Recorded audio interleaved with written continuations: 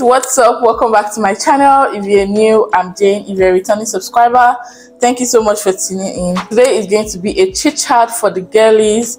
It's been a while since you know we had one.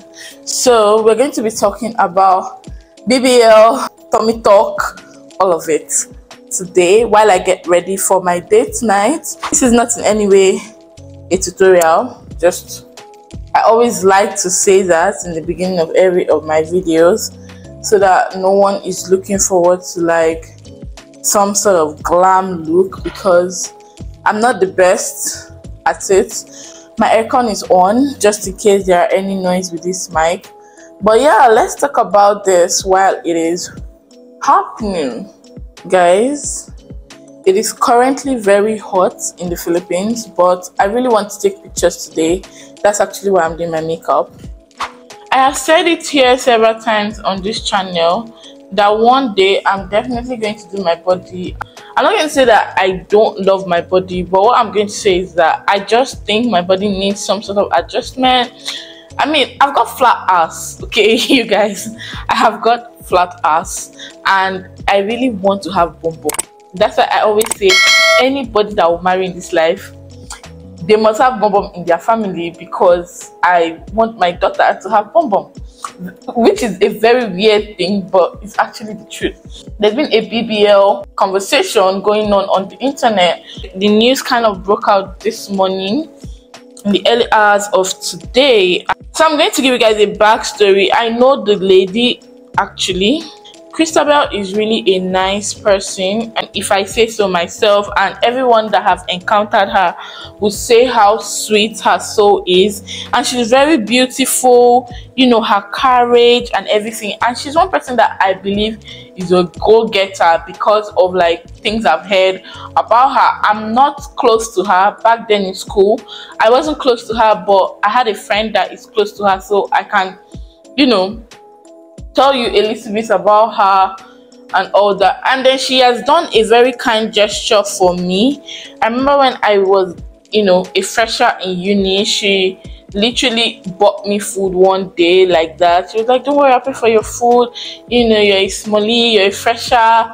She was like a year ahead of me i think. So that's why i'm telling you guys that i i know this lady. And she has an amazing body but even people with amazing bodies still have insecurities because why? It is normal to have what? Insecurities.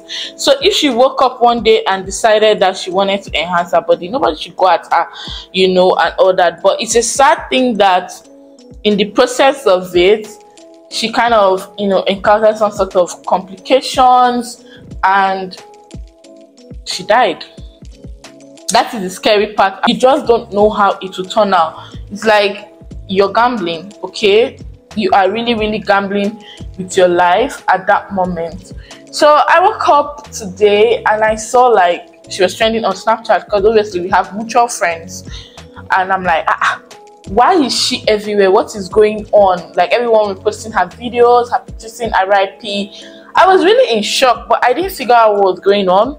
So i went to I went to her Instagram and I saw that her last post was in February. I didn't even read the comment or anything and I left. I was like, ah, maybe she was sick. Then maybe from there she passed on. Then I usually don't read blogs or anything. Like I don't follow gist. Let me put it that way. I can wake up one day and just go on like Insta blog, gist lover, all those kind of pages just to like catch up with what has been happening you know, I don't comment or anything. I don't even like. You can't even see my likes there. I was going through their page and I saw her picture. Lady businesswoman dies in this. I was like, eh? Like, wait, wait, wait a minute. What's happening? I read a write-up from Twitter that Instablog posted. Tosin wrote it actually, talking about like the whole BBL thing and how like the hospital have been ignoring her friends and all that. And i was curious. So i went ahead to message a close friend of mine that is her friend and i was like what's up? Like what's going on?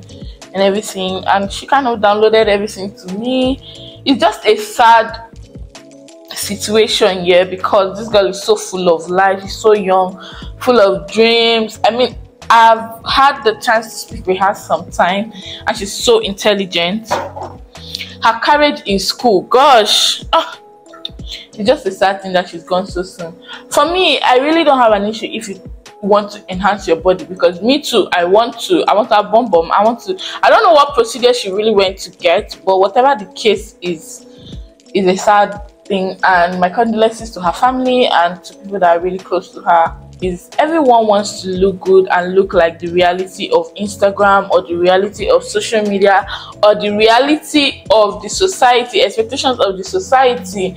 Because I feel like people that want to do their body is also because of society one way or the other societal pressure to have a certain standard of body you know and it takes courage to actually outgrow those things and just be you and love your body for who you are. Not everybody can get that confidence. I also have insecurities. I'm insecure of my tummy and i want to take it out okay? I'm also insecure about my butt. It's okay to like have insecurities about those things and maybe you want to fix it.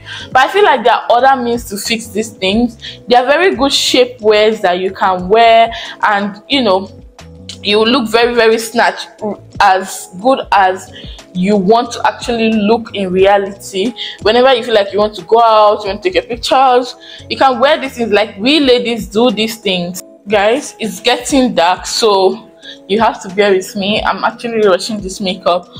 Case she decided to go under the knife and we cannot judge her. You don't know her reasons. You don't know what her insecurities were. Before you go for this thing do your research. And nigerians have this mentality that once people tell you they studied abroad it automatically means that they are good in what they are doing. Whereas that is not really the case. Sometimes they are actually not good in that. You guys my makeup is very basic. Sometimes they are actually not good in is the fact that somebody schooled abroad or is abroad trained, foreign trained, doesn't mean that they are perfect in that job. You have to do your research, you have to meet people that have been there, know what the aftercare is like, because sometimes some of these things are things that could have been avoided. Like if the hospital had listened to her when she said she was bleeding, obviously, and taking precautions for it and try to fix the issue, I'm sure she will still be here. They didn't give two fucks about like what was going on with her and everything. And then now also trying to hide it away from her friends. Find imagine them finding out days later like that their friend had died. So they've been expecting her to be back from the whole process.